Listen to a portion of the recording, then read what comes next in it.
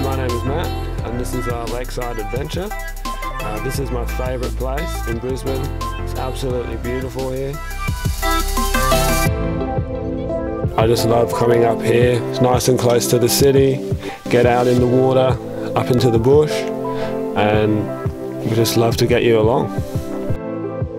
So we can paddleboard, kayak, get down to a rope swing, and have some beers to finish.